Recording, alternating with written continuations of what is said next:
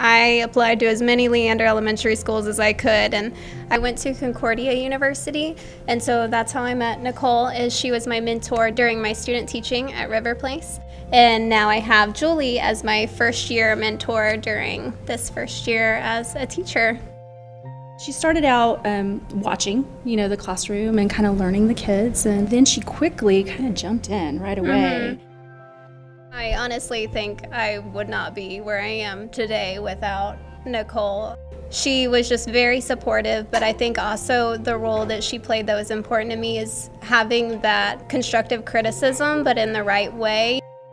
I would say um, one thing I love about being here is my team and that person, including Julie here as my mentor. I think being able to feel like I can run across the hall at any given point in the day and ask her something or if I have something I need and she's right there. She helps me just as much, if not more, than I help her.